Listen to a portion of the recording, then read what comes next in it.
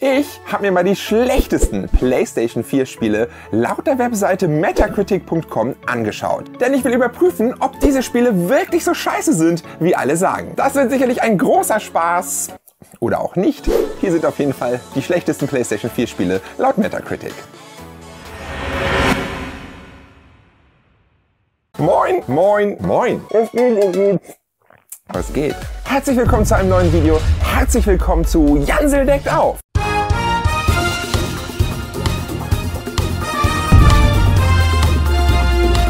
Wir begeben uns heute in die Geschmackstiefen unseres geliebten Hobbys und überprüfen, ob die schlechtesten PlayStation 4 Spiele wirklich so kacke sind, wie die Webseite Metacritic.com behauptet. Dies ist eine Aggregationswebseite, die Spielewertungen gleichermaßen von Spielern, aber auch von Journalisten sammelt und sie in einem einheitlichen Zahlensystem präsentiert. Und so sammelt Metacritic weltweit die Spielewertungen der Fachpresse und errechnet hieraus den Metascore. Darüber hinaus gibt es auch noch einen User-Score. Jeder, der sich dort anmeldet, darf ein Spiel anhand einer Skala von 1 bis 10 bewerten und hieraus ergibt sich dann der User-Score. Und hey, man darf natürlich auch nicht allzu viel auf diese Wertungen und Zahlen geben. Ne?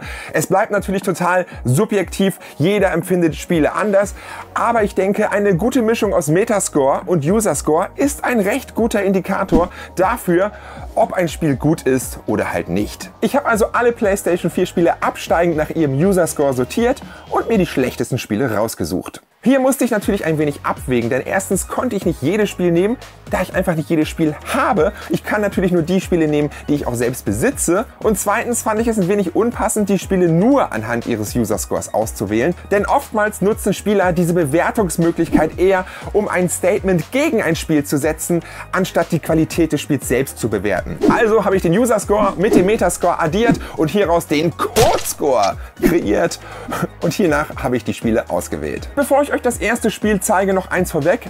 Ich habe die Spiele quasi direkt von der Disk gespielt, also ohne irgendein Patch, damit wir quasi das gleiche Erlebnis haben wie damals die Spieler als auch die Kritiker.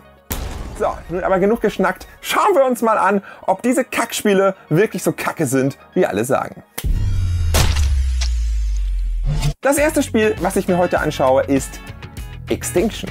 Und ich muss ja sagen, ich habe mir das Spiel damals für knapp 13 Euro gekauft, weil ich die Idee des Spiels irgendwie ganz cool finde. Denn es ist eine Mischung aus Attack on Titan und Shadow of the Colossus. Zumindest theoretisch, denn eure Welt wird angegriffen von riesigen Raveni. Raveni? Hießen sie Raveni? Man weiß es nicht. Auf jeden Fall sind es große, grüne Riesenoger, die eure Städte zerstören und eure Bürger töten. Und nun liegt es an euch, dies zu verhindern.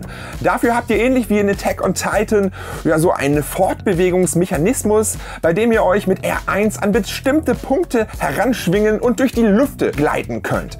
Das Ganze funktioniert aber irgendwie überhaupt nicht, weil man überhaupt kein Flow aufbaut, sondern einfach immer nur straight in die Luft geschossen wird. Und für mich machte es nach kurzer Zeit schon überhaupt keinen Sinn mehr, diese Funktion zu nutzen, sondern vielmehr auf dem Boden lang zu laufen, das war einfach eindeutig schneller.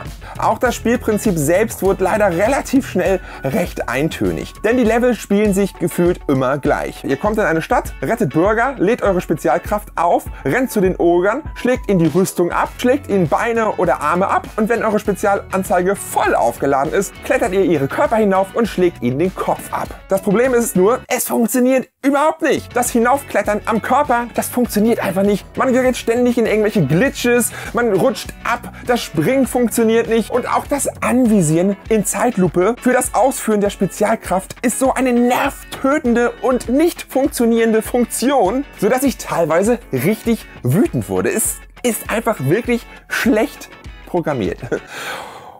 So dass ich auch keinen Bock mehr hatte auf dieses Spiel. Ich habe das irgendwie vier Level gespielt und es reicht. Es funktioniert einfach nicht. Die Idee ist cool, aber die Umsetzung ist wirklich kacke. Der User Score von 1,5 ist natürlich hart, aber auch irgendwie verständlich, wenn man dafür Vollpreis ausgegeben hat.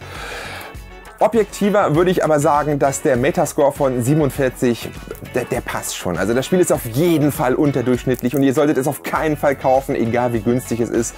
Es macht keinen Spaß. Extinction für die PlayStation 4. Auf das nächste Spiel war ich sehr gespannt, denn es hat mit einem User-Score von 0,3 mit Abstand den schlechtesten aller Spiele, die ich heute zeige. Es geht um The Dear God. The Dear God ist ein Retro-Jump-and-Run, bei dem ihr als Hirsch durch eine Pixelwelt schreitet und versucht zu überleben. Warum seid ihr ein Hirsch? Weil ihr als Jäger auf einen Hirsch schießen wolltet und von einem Wolf gebissen bzw. getötet wurde und der Dear God, der Hirschgott, hat euch dann zur Strafe in einen Hirsch verwandelt, damit ihr das mal aus seiner Perspektive erleben könnt. Ja, zumindest hat es eine Geschichte, das ist ja ganz schön. Ihr startet das Spiel quasi als junges Rehkitz, als Babyhirsch und müsst dann, ja, flüchten. Alle Tiere, die da irgendwie rumkreuchen, greifen euch an, ob Fuchs oder Skorpion oder Gorilla. Es ist wirklich sehr wahllos. Außerdem könnt ihr Früchte und Sträucher essen und so ein euer drei Energiebalken wieder aufladen. Welcher für was steht, das war mir irgendwie nicht ganz klar. Ich denke mal, der eine steht für Energie, um zu zaubern, der andere hat irgendwas mit Hunger zu tun und der dritte wird eure Lebensenergie sein. Das hat das Spiel nicht so ganz erklärt. Es war mir auch irgendwie total egal. Denn so richtig Spaß gemacht hat mir das Spiel irgendwie nicht. Man rennt irgendwie nur von links nach rechts und es macht auch total keinen Sinn, die Gegner anzugehen, sondern es reicht vielmehr einfach an ihnen vorbeizulaufen. Was man dem Spiel auf jeden Fall zugutehalten muss, ist seine 2D, 3D-Mischoptik, wie man sie auch von Octopath Traveler kennt. Nur, dass sie qualitativ nicht ganz so schön ist. Aber hey, ich finde es für ein Indie-Game nicht verkehrt. Ja, ansonsten ist das Spiel halt irgendwie relativ belanglos. Es kommen nachher noch irgendwelche Magiefähigkeiten hinzu und total nervige Sprungpassagen. Man stirbt relativ oft. Und es gab eine Situation, die war richtig komisch, weil auf einmal war ich ein Fuchs. Ich war ein Fuchs, ich weiß nicht warum. Ich habe, glaube ich, einen Fuchs angegriffen oder so, dann war ich ein Fuchs. Aber als Fuchs hatte ich nicht die Doppelsprungfähigkeit, die ich gebraucht hätte, um aus diesem Teil des Levels irgendwie, ja, flüchten zu können. Das heißt, ich bin minutenlang einfach nur von links nach rechts gelaufen und konnte nichts machen, bis ich dann irgendwann verhungert bin. Und dann war ich auf einmal wieder ein Hirsch und konnte das Spiel weiter bestreiten. Ich weiß auch nicht. Ich denke auch hier der User Score von 0,3, das, das, ist, das ist zu krass. Das hat das Spiel nur nicht verdient. Allein schon für die Optik und den relativ coolen Soundtrack, da kann man schon ein paar Pünktchen geben. Aber der Metascore, ich glaube von 46 oder so, der trifft den Nagel auf den Kopf. Das ist ein unterdurchschnittliches Spiel. Das braucht ihr euch nicht kaufen. Es ist aber da. The Dear God für die PlayStation 4. Als nächstes kommen wir zu dem wahrscheinlich bekanntesten Spiel dieses Videos und ich war sehr gespannt, ob dieses Spiel wirklich so, so schlecht ist, wie alle immer sagen. Und zwar Tony Hawk Pro Skater 5. Boah, die Tony Hawk Reihe, was eine geile Spielereihe. Gerade Teil 1 und Teil 2 habe ich damals auf der PlayStation 1 geliebt.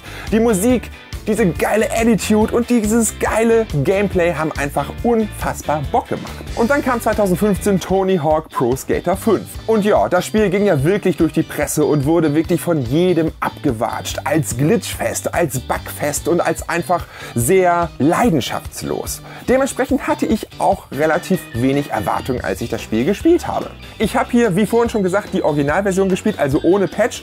Und ich habe wirklich gedacht, ich falle hier die ganze Zeit von der Map und nichts funktioniert funktioniert und die Spielfigur fliegt per Ragdoll-Physik die ganze Zeit durchs Level. Aber so schlimm war es dann doch nicht.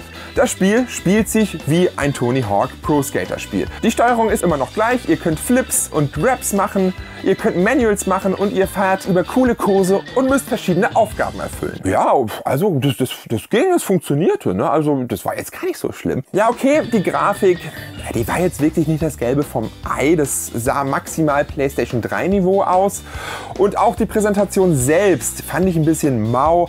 Also ihr kennt das vielleicht noch aus älteren Tony Hawk Teilen, bei denen man sich die Aufgaben von Auftraggebern in der Welt selbst geholt hat. Und das war total charmant, weil die meistens auch eine kleine Story parat hatten, die oftmals total dumm, aber auch witzig war.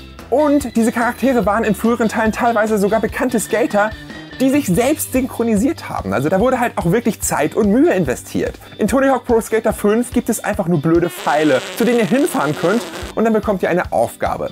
Ihr könntet theoretisch aber auch einfach einen Knopf drücken und die Aufgaben direkt annehmen. Diese Pfeile sind also auch total sinnlos.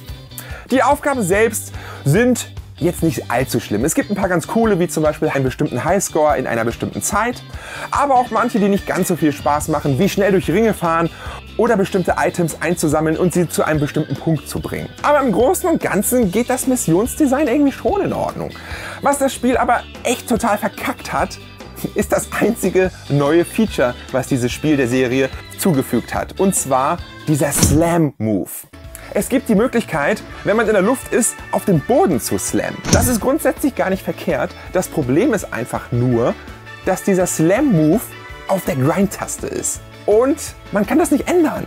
Und das führt oftmals dazu, dass man auf eine Rail springen möchte, um dort zu grinden, man aber einen Tick zu früh den Slam bzw. den Grind-Knopf drückt und einfach bevor man auf der Rail ankommt, bam, schon auf den Boden klatscht, weil man ja geslammt hat. Ja, und das macht irgendwie total den Flow des Spiels kaputt. Ich meine, das ist grundsätzlich keine Sache, die man nicht mit einem Patch beheben kann und ich weiß nicht, ob das später auch passiert ist, aber in seiner Ursprungsversion ist das halt total nervig, weil man natürlich seine Moves aneinanderketten möchte. Und das passiert halt oftmals mit Manuals, aber halt auch mit Grinds.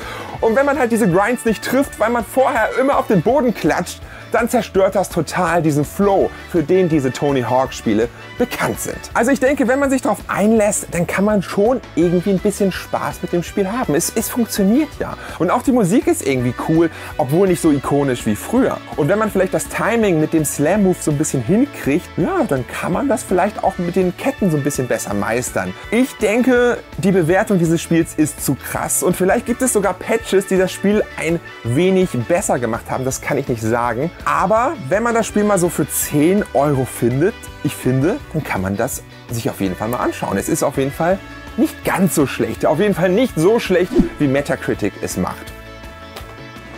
Tony Hawk Pro Skater 5. Ich hätte wesentlich Schlimmeres erwartet. Das nächste Spiel basiert auch auf einem sehr, sehr großen Franchise und wurde richtig abgewatscht und ich habe das damals schon gespielt und ich fand das damals schon gar nicht so schlecht. Und zwar Ghostbusters.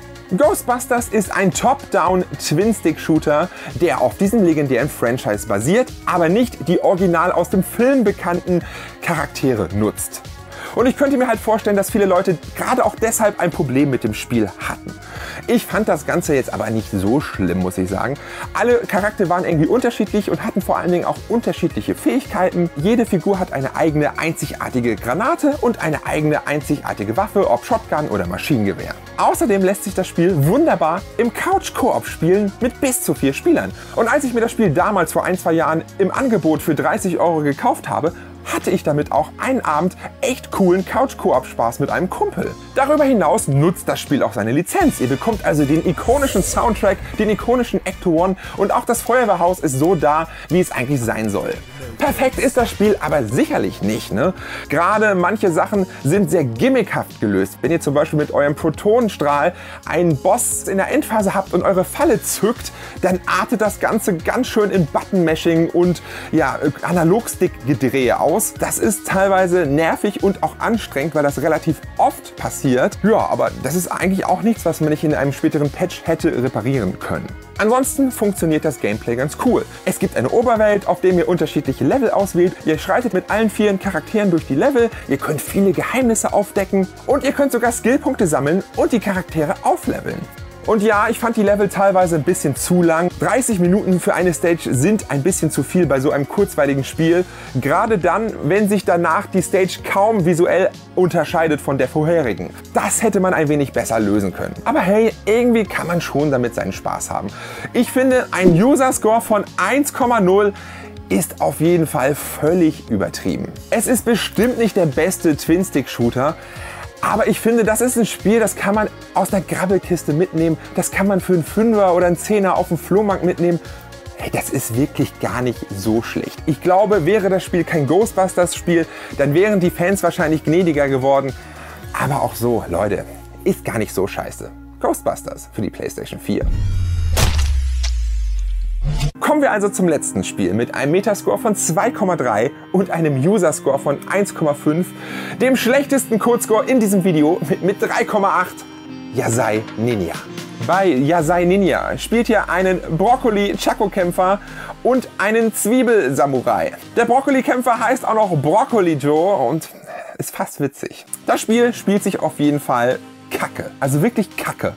Es ist richtiger Code. Selten habe ich ein Spiel gesehen, das so ein schlechtes Kampfsystem hatte wie Yasai Ninja. Es gibt quasi kein Trefferfeedback, also visuell schon sehr schlecht, aber akustisch noch viel weniger, weil es gibt quasi überhaupt keine Kampfgeräusche.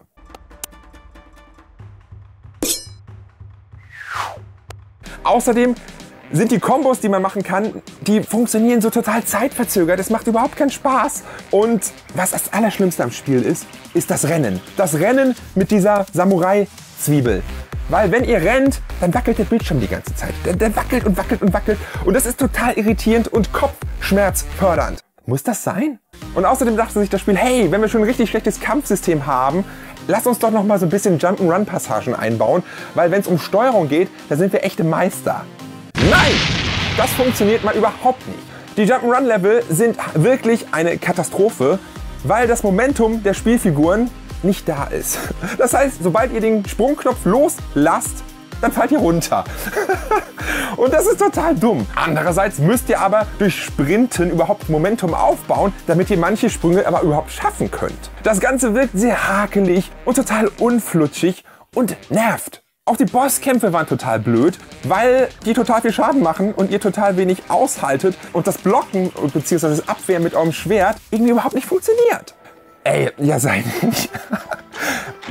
Was ein schlechtes Spiel. Das ist so ein schlechtes Spiel, das kann man schon fast wieder in einem lustigen Video verpacken, weil es so schlecht ist. Aber hey, es ist vorbei. Ich habe es geschafft. Das solltet ihr auf keinen... Sch es gibt ein Sequel?